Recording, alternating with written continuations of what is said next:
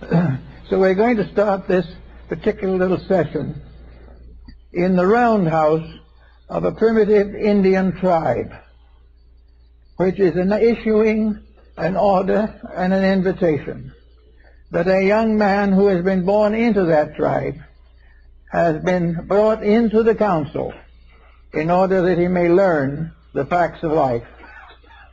And uh, while this is quite a ways back, long before television, it has a great deal of depth to it that has more or less disappeared from our way of life.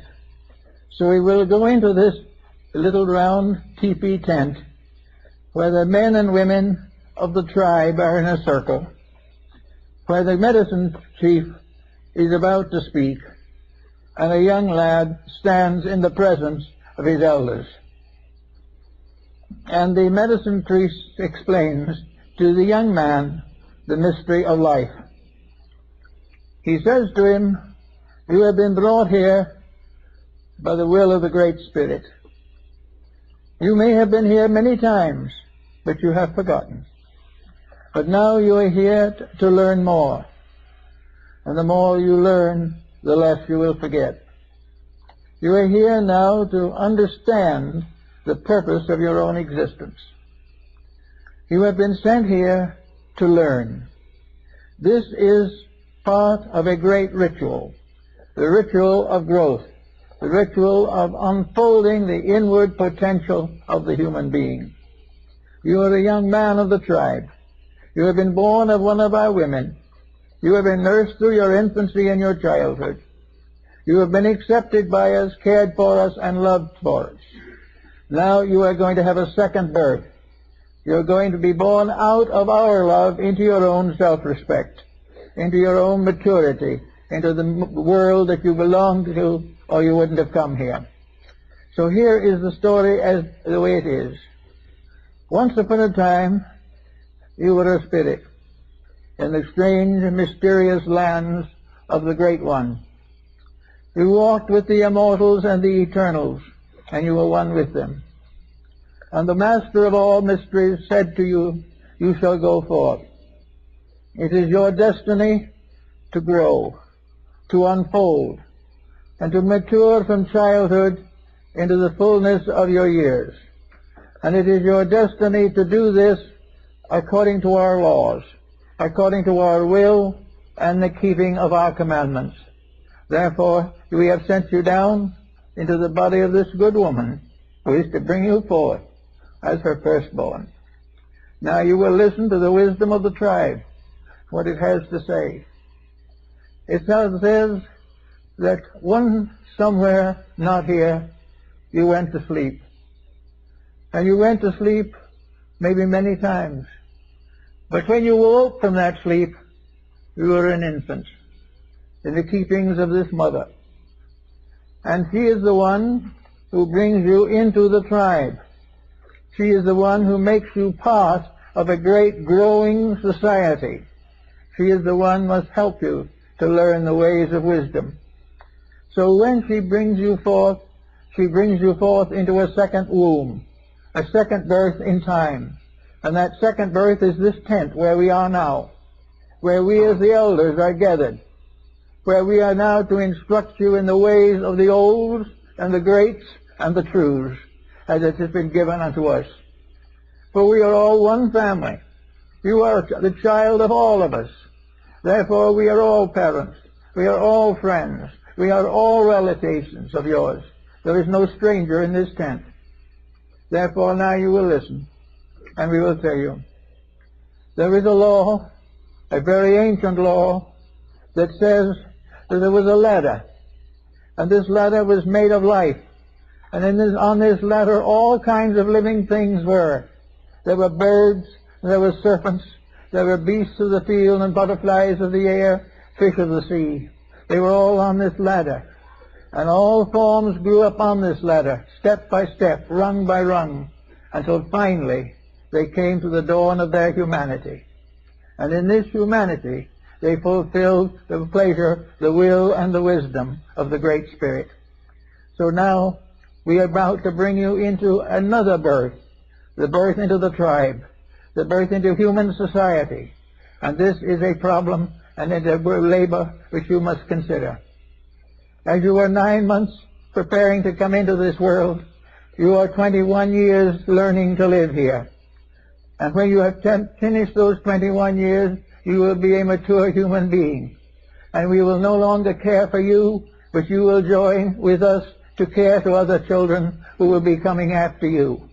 This is one family. It is called the human family. And there's nothing in it but brothers and sisters, mothers and fathers, sons and daughters. There are no strangers in this family. So now as your new teachers, as those who take on after you are born, we tell you the way of life. We tell you what the Great Spirit tells us, and he, we trust Him always. First of all, you must keep open the road, the road between here and the great sachems in the house in the sky. You must never do anything that closes your contact with the great source of good. You must never betray it. You must never transgress it. You must never ignore it. Because at all times from here on, your great strength comes from the fact that you are always able to reach out and touch reality. This is the thing you must learn. The next thing you must learn is that you are not here simply to grow. You are here to grow, to live, to help, to teach, and to contribute to the growth of all other living things. For all the other little creatures in this world are your younger brothers and sisters, and you must take care of them to the best of your ability. Now there are things you cannot do, that we know, but there are many things you can do, and some of these you must do. So now we bring to the point where you're no longer a child. You are no longer simply uh, tied by an umbilical cord to your mother, but you are tied by an umbilical cord to this house and all who dwell in it, because they are part of your family, part of yourself, and you would not be here were it not for them. You are not only the child of your mother, but the child of her mother, and her mother's mother, and all the fathers who have gone before, for there is only one family. And that family is the brotherhood of all that lives. Now you must learn this. You must never forget it. Because if you forget it or you go against it, you destroy your own life. You compromise your own principles, and you bring heart aches and pains and miseries and misfortunes to the family that loves you. You must therefore always be true. Now what is the truth that you must always follow if you are to succeed? The first truth of all is courage. The courage to dare to be right. The courage to support that which you know to be right rather than to compromise in the favor of something easier for yourself. Before your success, before your fulfillment, before your continuance even in life, there must be honor. There must be a dedication. You must do nothing in the midst of the night or in the darkness of misery that is against the will of the Great Spirit. The Great Spirit's will is supreme. And after you have come down to the understanding that there must be no compromise between good and evil, then you may say, what is evil? Evil is compromise. It is the individual trying to be greater than the Great Spirit. And when he disobeys the Great Spirit, he cuts the thread between himself and the eternal life. Now it is also true that you must have your own inner spiritual contact with truth. As the medicine priest of this tribe, I carry the gate and I open the door into the mysteries of the great medicine lodge in the sky, where the sachems and the great ones dwell in constant and eternal meditation, contemplating upon the mysteries of the world. So eh, we now have to know how to reach these people. So I will tell you.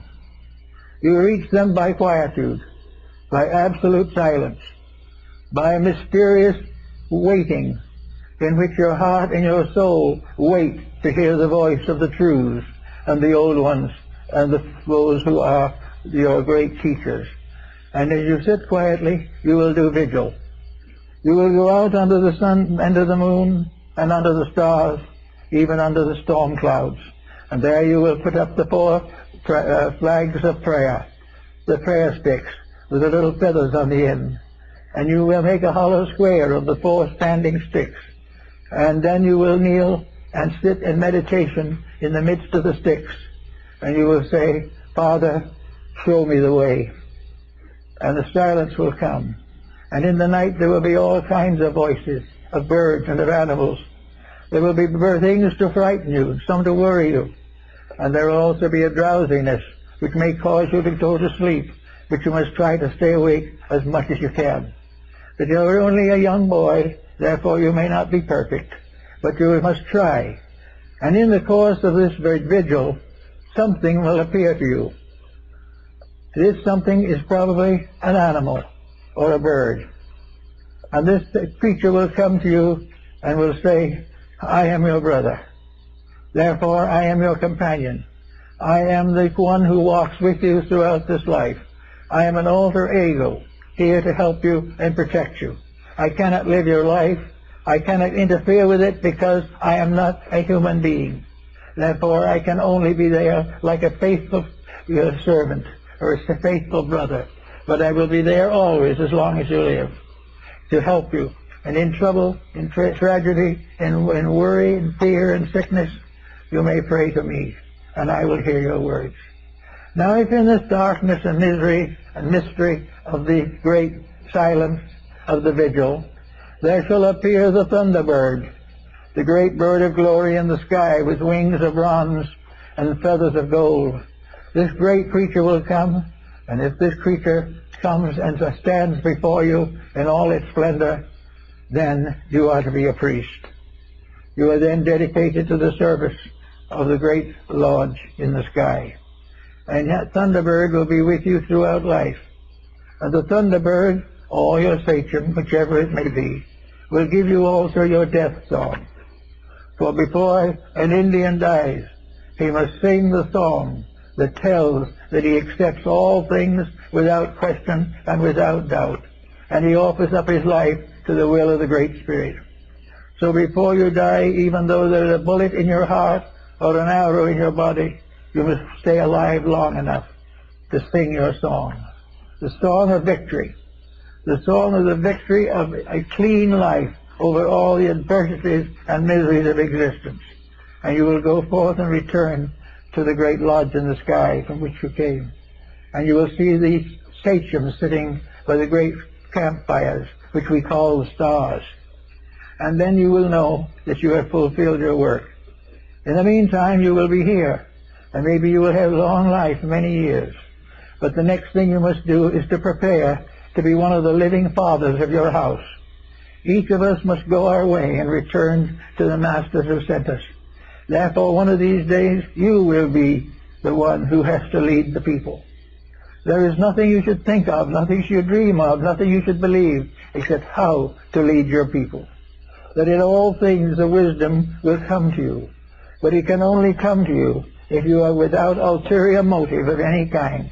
You must be perfectly honest, or else you will receive false guidance, because the guidance will come from yourself rather than from the Great Spirit.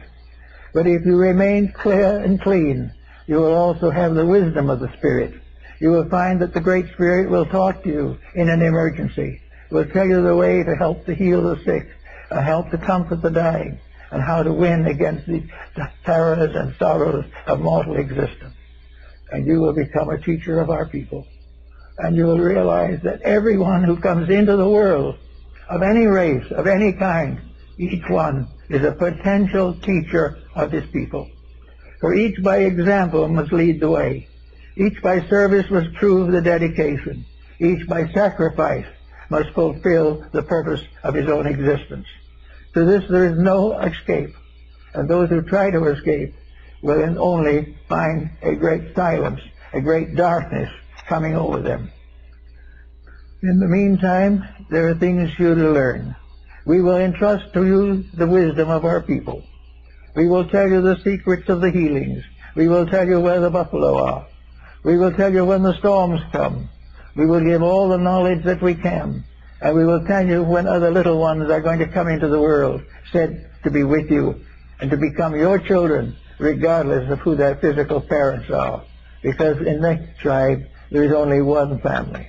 All family is bound together by a great secret mystical tie, for they are all children of the one great spirit that dwells in the sky. And having done all these things, you will then learn the ways of life. You will learn the useful arts. You will learn how to help people who are in trouble. You will learn how to forget yourself in the service of others. You will, you will learn how to be sick yourself, but while sick will serve the dying. All these things are part of the great mystery. And this great mystery is that we are here for one purpose and one purpose only, to grow. And the only way we can grow is to forget ourselves in serving others. There is no other way to grow. There is no such a thing as selfish growth. There is no such a thing as self-centered growth. There is only growing by sacrificing self to the eternal purposes of life. For you are all servants of the Great Spirit, and wherever the Spirit leads, you must follow. Whatever the Spirit demands, you must give. And there must be no doubt or question in your life to become a teacher of your people, a faithful priest of the great mysteries of the Thunderbirds. You must realize that you have now at this time dedicated your life out of your own keeping, out of your own control, out of your own being, and dedicated it completely to the will of the eternal. In having the will of the eternal, you will have no more suffering. There will be no more pain. For anything that the will of the Great One demands, that is beautiful and that is good. So now you have to come into the world, and now you have to create a new birth. And in the teen years between birth and adulthood, you must become again a new little child, growing up until in your majority you are born again into your people as a citizen. You are born as part of us. Now you are an apprentice. You are a seeker. You are one we are helping, controlling, directing, inspiring, instructing. But when that 21st birthday comes, or its equivalent, you will no longer be a child. You will be a grown person. And the moment you are a grown person, you are responsible for your own destiny. You are responsible for the truths that you live. You are responsible for the offers and orders that you keep. You are responsible not only for your own future, but to help in the futures of all who come in contact with you. So now the time comes for you to be initiated into the maturity of the tribe in order that you may re reflect and, and manifest all the good things that the tribe itself has to teach. Now, as a member of the tribe, you also have another problem. A woman brought you into life and gave you this body. It is now your turn to become a parent. You must, in order to be true to the Great Spirit, you must have a son or a daughter that will go on after you. Because as you are indebted for your own birth, so you have to pay for this by bringing another in and conferring upon that other all the good that you know, all the wisdom that you know. You must never turn from your own child to the perfection of your own luxuries or the fulfillment of your own ambitions.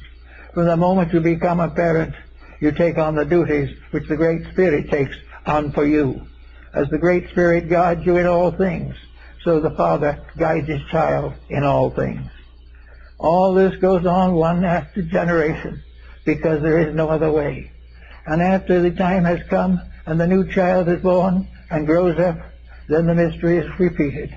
He must also go out and sit in the silence, must do vigil, and must receive his ordination. Everyone who goes out into life must have an ordination, must have something. Now we say in this modern world these things don't apply anymore. They may not apply outwardly, but they do apply inwardly. For there is an outer code that caters to the physical life of things, but an inner code that is never satisfied except by the redemption of the spirit and the release of the soul. These things, therefore, there are two laws. The laws of the material world, and on your 21st birthday, you declare yourself to be above them. And the laws of this world of soul and of spirit into which you are now born. Mistakes you made as a child will be forgiven, but these same mistakes are not forgiven after you have reached the age of knowing and understanding. And you must also protect this body that you have. You must never pollute it. You must never defile it. You must never abuse it because it is an instrument by means of which you have the power to help, the power to serve, the power to give, and the power to be enlightened. For this body is a precious thing that has been conferred upon you. If you pervert it, you destroy it, or pollute it, there is some great pain. There is no way in which you can break the rules without pain.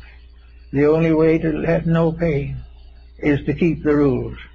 And if keeping the rules you still go through pain, it is the pain of understanding, the pain of release, of the realization that this pain is necessary to the perfection of your own nature. Now it is the young Indian sitting or standing in this group receives the benediction, receives the symbols of the membership in his tribe, and receives the proofs of his own ordination. And every child that is born into the world is born an ordained priest of the mystery of life. And unless he prefers to go into material things and sacrifice his natural destiny, he will continue throughout life to serve life, to give all to life, and to give it all not in his own name or for his own fulfillment, but in the name of the Spirit that dwells within him, and that he may be found worthy by the great Lodge of the Sachems, the lodge that sits in the sky. Now the young boy may be a little doubtful of some of these things. So the master of the mysteries, the old priest who is someday going to give way to him, says, come with me then, and I will show you. So they sit down quietly in meditation in the midst of the prayer plumes. And all of a sudden the young boy finds that he is outside of his own body. He is no longer in his body. And he looks and the old Indian is standing beside him and he is also out of his body. And he says to the child, come with me to the lodge of the great ones. So they go down a wonderful winding path and up the side of a very steep mesa into desert country. And there is a peak. And when they reach the top of the peak, there is the great lodge, the medicine lodge of the great tribes of mankind. And in this lodge there is every nation, every race, every belief, everything that is good is there. But nothing that is not good can enter in. So the young boy goes in with the master of the lodge and sees for himself the great ones who have gone before. The Indian has no book to read. He has no written record that he can tell. He has only the stories that come to him from the wise ones. And these wise ones' stories come down from the dawn of time. And there he sees for himself the great lodge of the sky, the immutable, inevitable victory of right over everything else, regardless of whether it is obvious or not. Here is perfect justice, but it is justice with mercy. In the lodge of the sky there is no damnation. There is no heretic. There is nothing except eternal solicitude, a great determination on the part of the great lodge to bring forth into perfection the smallest and least of all living creatures. And having been given the vision, the young man returns to the world dedicated and, de and de devoted to the fulfillment of the destiny of the tribe. Now that is the way it was understood in the old days. And that is not just a story of an Indian tribe. Because the Indian tribe is here on our own continent, the North American, Central American, South American tribes, all with the same essential teaching. But it is also the teaching of all the other religions of the world. The religions that teach that a mysterious way there is a reason for us. There is no such a thing as an accident. Sometimes it may seem that in the generation of living things there are many accidents and many miscarriages of justice. But all this is an illusion. Behind everything that happens is the will of the Great Spirit. And the will of the Great Spirit has only one thing, to learn, to teach, that those who are taught may live to teach others in their turn. And so with this type of thought, we can come down maybe a little bit to the modern way of life. How are our dedications? How are our convictions about these matters? Do we recognize every child that comes into the world as a citizen of eternity? Do we recognize them all as brothers and sisters? Do we recognize a common responsibility that we have for all that lives? Because in turn, all that lives has to accept the responsibility of our existence. As we have been given, so shall we give. As we have been helped, so shall we help. And if there are things that are not right, and the parents of the children or anyone involved, then, then we must go into the lodge and very carefully spread the white uh, robes of the peace on the floor and call upon the spirits to relieve us of our anxieties. Every mother and father has a, a duty. Every parent, grandparent, all relatives, even friends. A friend is just a little more distant relative, but the same thing is true. Until the world realizes that humanity is one family, there will never be an end to pain. And that was realized long before there were books, and it's been forgotten ever since there were great mediums for the transmission of knowledge. There has been no realization of the great purpose behind all of this. The great purpose that we are gradually being created into a race of heroes, a race of great spirits who can go forth to carry the wisdom of the ages beyond the stars, beyond the planets, not with mechanical ships built out of steel and muted by various chemicals, but the, the great spirit of life itself, the spirits that come into birth, the spirits that come in to learn, and which must go forth in time to become the teachers of all that live. And each one comes with a lesson to learn and a gift to make. And those who are coming up now to their maturity, we may like to think of that a kind of a maturity of the world is coming with a sort of 21st birthday. And we think maybe that birthday is the beginning of a new century. That a new century is coming in which we will have something that is better. But when the time comes to celebrate the coming of this birthday, we can't do it with ice cream and cake. We've got to do it with dedication. We've got to do it by making a real purpose out of our own existence. And maybe thinking a little bit about the old medicine priest who never was able to write a word, who never spoke to anyone but a member of his own tribe, but became a tremendous power because he was a power of dedication, a power of giving to these young people the key to the reason for themselves. And until we give to young people the reason for themselves, we will still have juvenile delinquency. But if we once give them the reason for themselves, if we can once convince them that there is this great message and that we are all born to teach. We are all born to teach and born to learn. And from the learning we teach, and from the teaching we learn. These are the lessons of life. And that is the reason why uh, education is, is nothing if it is not accompanied by dedication, by some tremendous internal experience. Uh, there must be an inward uh, motion towards reality. Now we look at the young people of today who are not in any Indian tent or on the side of an old hill. Most of them do not even respect education because it isn't educating them. They don't expect education because they have none. They do not see any reason why they should be better because nobody else is. All of this tremendous uh, verbal, written understanding from books. The professor gives a lesson from page 212. The child memorizes the page and gets the correct page and correct line and gets a passing mark. He knows nothing. He learns nothing. And the professor can do no better. Because if he does any better, the relatives of the pupils will come down on him uh, claiming that he is interfering with the blessed privilege of raising their children the way they want to. So we don't have much. But somewhere along the way, we must go back far enough to reach the future. We've got to go back to the point where we can find where the threads have separated and where we have lost more than we have ever been able to gain.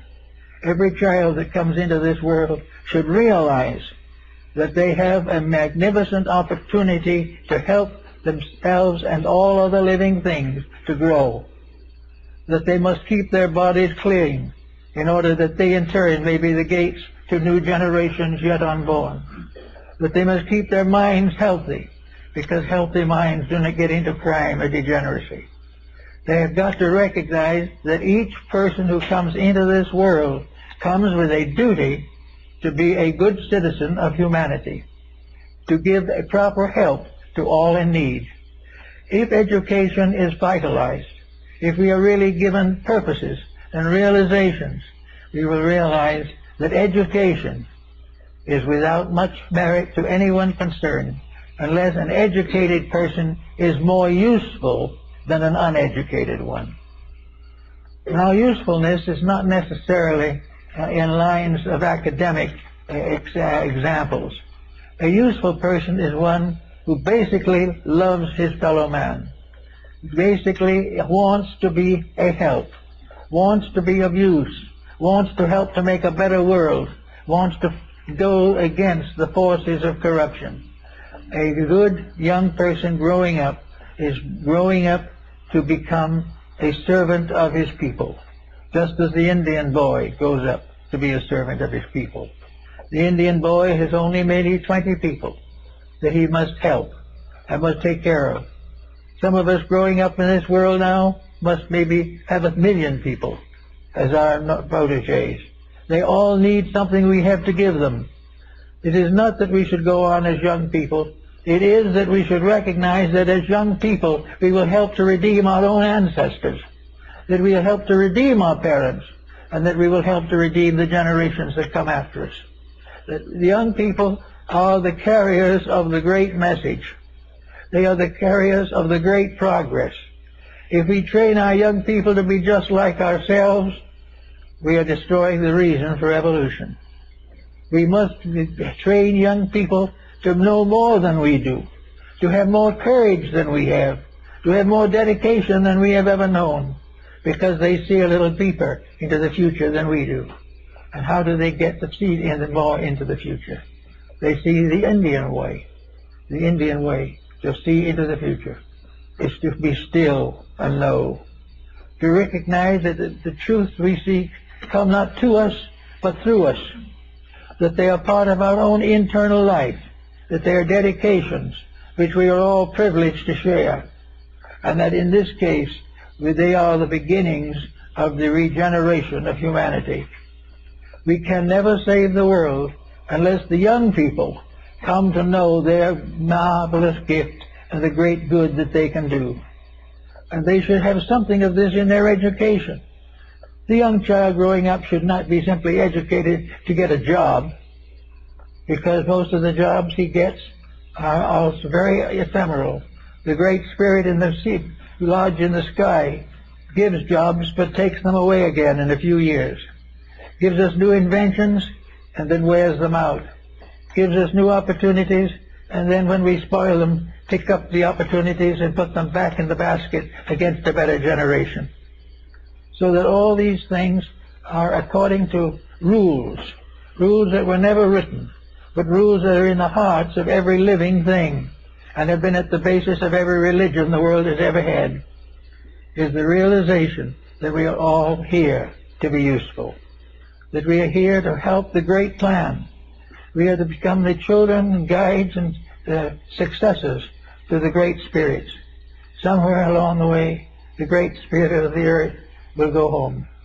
We do not know what it means when it goes home, but it will graduate. It will no longer be the spirit of this world.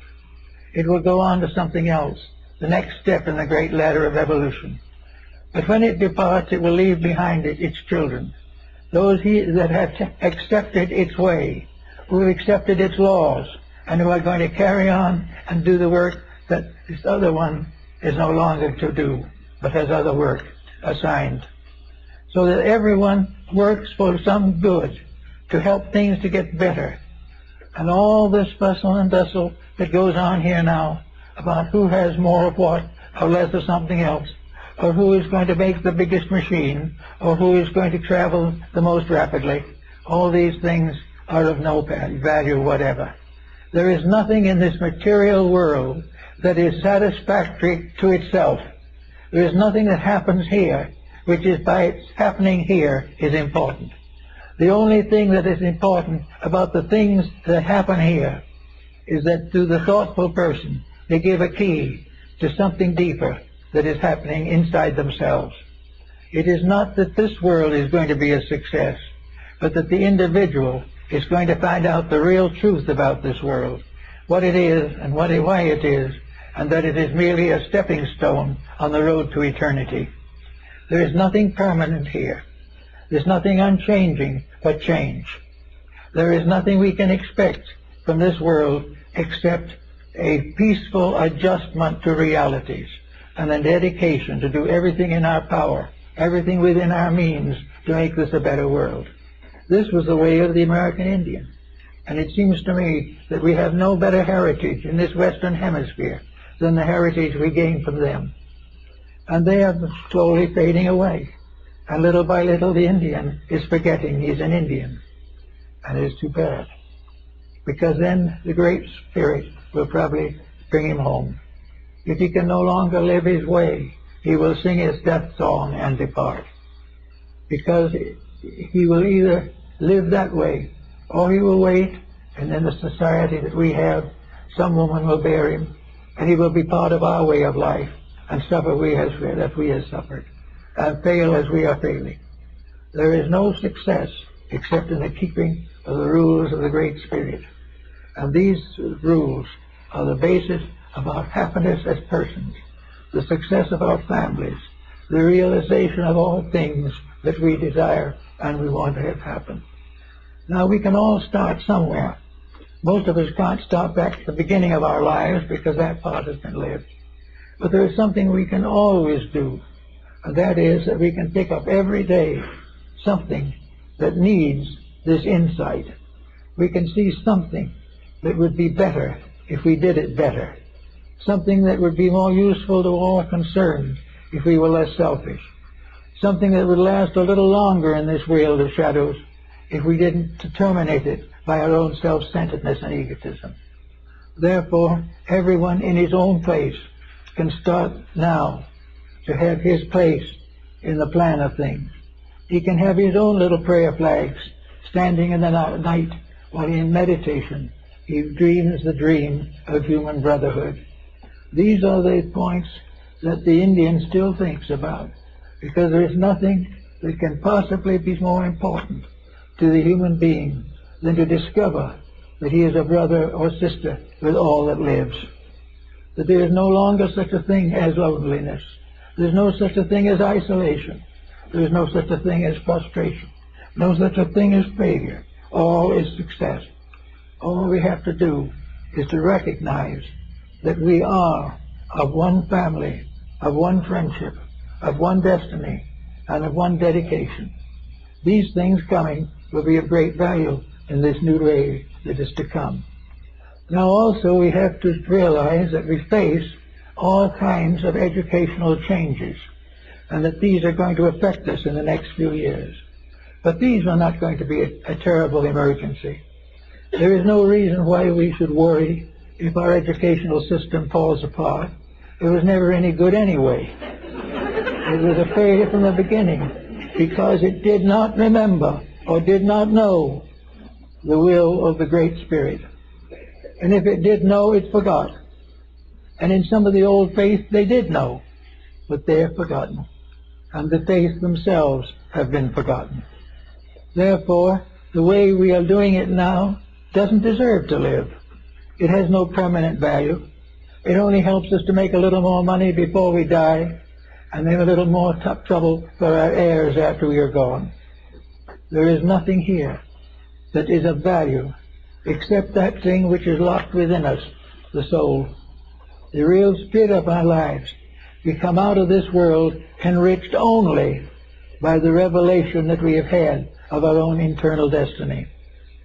The individual who out of this life learns to outgrow this life, he is wise. The person who out of this life uh, suddenly realizes that hatred destroys itself, that selfishness ends in chaos, that war ends in confusion. All these things are the mistakes, and our present world with its present conditions is simply a monument to mistakes. Mistakes on every level. On politics, on industry, in science, everything. Everything is mistake. Why? Because of lack of dedication. Nothing can succeed that is not dedicated to the good of all that lives. The moment selfishness comes in, disaster follows. If there is a sp- spirit of evil anywhere in the world, it is selfishness. And it is selfishness that makes us betray the purpose for our own destiny. It's now, since the beginning of the Christian era, we've had 2,000 years of betrayals. We've had every good, every beauty, every truth fought against, destroyed, compromised in the name of profit. And out of all this profit, what do we have? The most we can possibly hope for is a larger monument in the cemetery. And, of course, to leave behind us our worldly goods, which in turn will make sinners out of our own children. We don't have much. It's all something that is a strange kind of dream, a nightmare. We're in that nightmare now. We are not in it every day. Every morning we get the newspaper, more nightmare, more confusion, more misery is brought to our attention. And we, claiming to be intelligent, claiming to be educated, claiming to have vision and understanding, remain terror-stricken in the midst of our own mistakes. There seems to be no answer to this. But there is an answer. We've got to stop making the mistakes. There is no other way. There will never be any way that we can prop up a disaster. Ultimately, it will happen. Ultimately, it will bring us back to the realization of the old Indian medicine priest that everything that succeeds succeeds with the blessing of the Great Spirit. And nothing that has this blessing withheld can ever succeed. So there, this Great Spirit becomes a kind of personification the laws of the universe, the laws of the great Manitou who rules all things. And if we keep these rules, we live. If we break these rules, we die. But in death, it is not as serious as we think. Death will be a terrible tragedy only to people who have too much in this world to think about and to leave behind. If an individual must leave a fortune, his, his passing may be rather painful. But if he knows from the beginning it was never his, he can leave it in peace and go on to something better. It is very well to remember, like the Indian, that the miseries that we call success today are on their way out. But what is coming is better. And instead of a success uh, mixed in with massive pain, misery, fear, we can have a quiet success, fulfilling the way of life that was intended for us. We can live in peace and pass on in peace, and the horrors of transition will be no more. So we can take from the people of our own continent, those who were here before we were, and who are now going slowly home to the great Manitou. He is calling his people back into the life that is gone. He is calling them away from this problem into something else. But in the meantime, he has left behind a strange and curious legend, a legend that love wins all wars, that in the end there cannot be any hatreds without destruction, and any selfishness without pain, and any ambition that becomes too strong so that it destroys the peace and security of other people. Now when we get down to our own little problems here, what are we going to do about this? Here we have a matter of education coming up. We know definitely that we are on the wrong track. We are on the track of assuming that education is competitive. We are assuming that there are three levels of intelligence. A low level in which we are educated for crafts and trades. A middle level in which we are the blue collars, uh, destined and foreordained to reasonable comforts. And there is that upper class, very small but very powerful, which was intended by God to control and win and rule the world. All of this is trivia. It's nothing whatsoever. The great truth rests in the internal integrities. The poor man who is honest is far much further along in the patterns of evolution than the rich man who is not honest. Those who have lived the best they know have something to look fall back upon, something that does not bring pain, something that does not come with angry dreams at the end of life. We all have to finally make peace with integrities. Now, how to know how to make this kind of peace? Perhaps we don't know these integrities very well. Well, it's not as difficult as you might think at first try, because these integrities represent of soul and the victory of soul power over ordinary mentality. now, in connection with our education, how do we apply soul powers? Do we give up reading and writing? No. The only thing is we use reading and writing to help to grow. Do we have to give up dreams and ideals and hopes? No. We just need to put the strength behind what is right so that it wins. Do we mean that we have to live and die poor? No. But we have to live and die in harmony with our own conscience. And if we decide in our conscience that our worldly goods are not honestly gained, then we must give them up. All of these things constitute the final step of the individual's coming of age. We say now, as the Egyptians said, and many other people, that there is an age, approximately 21 years, that is the maturity of the human being physically. It is at this time that he is born out of the womb of the family, out of the womb of childhood, into the chilly air of self-discretion discretion and determination. We know that at that time, around 21 years, there is a new birth in each person, in which he passes from the protection of the family to the full maturity of his own destiny. There should be some kind of a definite statement of what this means. That the individual, having reached maturity, is no longer to lean upon something else, but is to permit the weaker to lean upon him. Maturity represents the taking over of life with its integrities, with its proper responsibilities, that the individual who has been taken care of through childhood comes to his own burden and must take care of his own children, that the responsibilities come first, that the lavishness and the, and the joys and the sorrows are second to the burdens of fact, that the realities must be met, that each individual must pay the price that has been paid to give him the right to be an individual.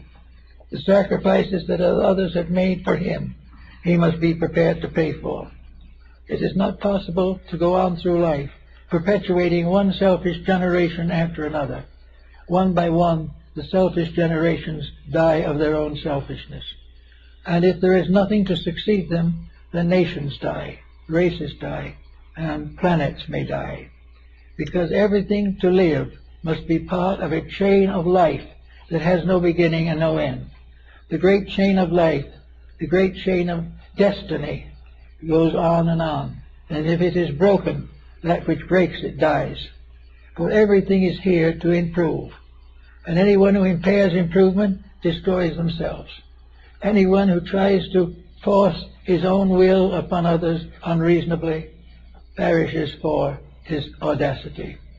And even the parent has a responsibility to the child. For the Bible says that we should not tempt our children to reproof and, dis- and disloyalty. We should be able to help all things. For everything that exists is seeking its own maturity, seeking the fullness of its own existence. It is here in order that it may complete the reason for being here. And we should all help that in every way that we can and do all that we can do to make it easier. Now, we might have to sacrifice things to do it. Supposing a parent with small children, we should be forced to cut down the television time. Oh, it's a horrible possibility. the destiny of it all, that we will lose the next last ball game, or that we won't be able to check in the next episode of an eternal and inevitable sequence of events. All of this is foolishness. All of this is simply because we are lazy-minded. or else because we have no thoughts that are worth thinking. So we must uh, borrow our thinking from the worst possible source, somebody else's thoughts. so we go on, trying to be happy, trying to do the little stupid things that will give us comfort and peace, trying to relax away from our burdens, trying to get away from facts. And if anyone can get far from facts in the average television performance, they're miraculous workers now, right? Because most of this material is more visible than anyone could have happen to them in daily life in reality. so we have to begin to think in terms of investing in the things we believe in. We must invest in the children, and we won't have so many juvenile delinquents.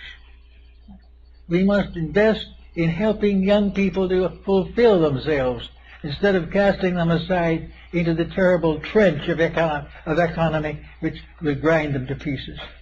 We have to make sure that the gentle, the kindly, the sweet, the good has its own proper opportunity. That these things are real and that these are the things which must ultimately succeed. And it is better to fail now than to succeed in something that must ultimately fail entirely, to slightly paraphrase Woodrow Wilson. The definite problem is, therefore, in the 21st century, we should have something to send over there into the future. Young people with soul, young people with dedication, and also a simple plan, perhaps almost as simple as that of the old Indians. Just a rule that the thing, we must be kind, we must be true, we must be generous, and we must do all things for the common good, and do unto others as we would have them do unto us. If this factor could be strengthened, we would find that civilization would rise supreme over its own iniquities, and its various fallacies would pass away like clouds upon a summer sky. So the Indian, I remember one of them, I remember very well. He was an older man. He was not going to have any uh, descendant, probably. There was no one.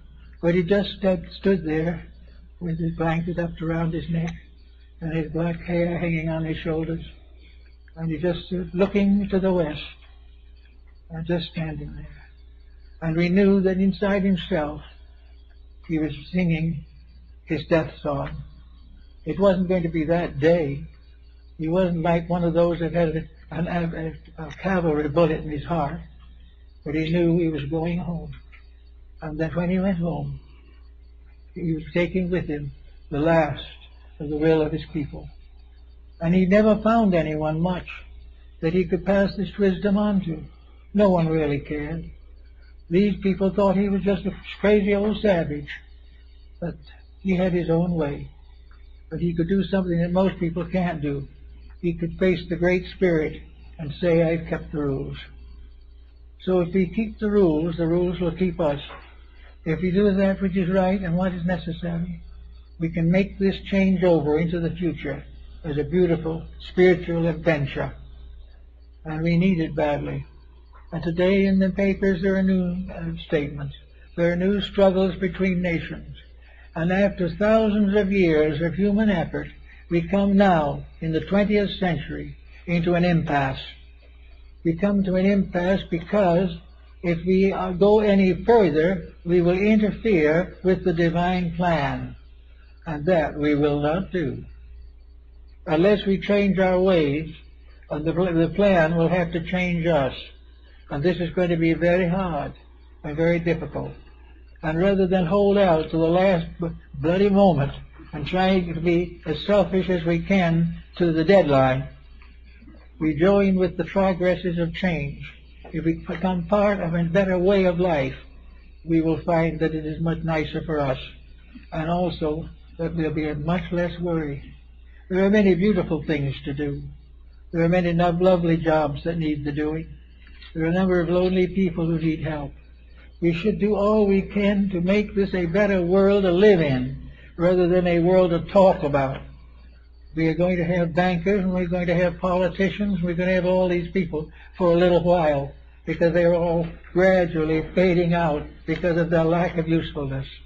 But in the meantime, we can have a much better world by simply paying no attention to those who are not right but working closely and dedicatedly with those who are right, trying to help them, trying to stand for the principles that we believe in. And whenever we are tempted to be selfish, stand strong like the old priest, medicine priest, and refuse to compromise the will of the Great Spirit. Also, this prisoners of the Great Spirit comes to us in one other way, and that is the concept of deity. Each nation of the world has a slightly different concept of the divine power of the source of life. Most of the believe of God as a omniscient and omnipresent power. Many think of deity as a parent. Many think of the deity as a principle. But they're all different interpretations of what deity is. But all agree on one thing, and that is what deity does. And deity keeps the rules. That which makes the rules is in itself the very rules themselves.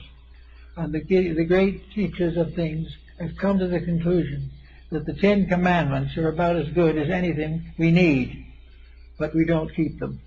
And that a nation should have no thought of these or the Beatitudes or the Sermon on the Mount, that these things are with us always in printed and written form, and we do not obey them, then something is wrong with us. Not long ago, a, a group was engaged to make a new translation of the, the Sermon on the Mount. And after a careful consideration, uh, it was decided that the line, Blessed are the meek, for they shall inherit the earth, was not inspired. And this is exactly where we are. That which is beautiful and noble and true is now listed as not inspired. Whereas to get what you can as quick as you can is now highly inspired. It is very noble. So here we go into further chaos. But I think it's nice to realize that watching the daily news and watching the motions of people and watching the new spirit arising among the nations of the earth, it looks like the old way is beginning to shine through again. The spirits are beginning to talk. The great spirit in the in the in the sachem's house on the top of the hill, is sending out more messengers. The time has come out of the sorrow and misery of materialism that a new idealism has to be born. And it is our privilege to come by, come by and live with it now.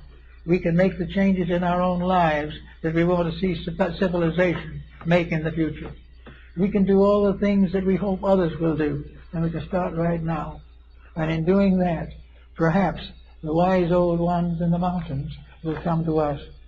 The many Indians believe firmly even now that the Great Spirit still lives. While they don't know just where it is and what it is and why it is, they know that somewhere in the great plan of things is infinite love, infinite good, and infinite beauty. That infinite patience is one of the virtues of God. And if we contribute as much as we can to these virtues in our personal lives, we will become more like God. And becoming like God, we'll come to know God. These are the thoughts of the day, and I hope they will be of interest to you.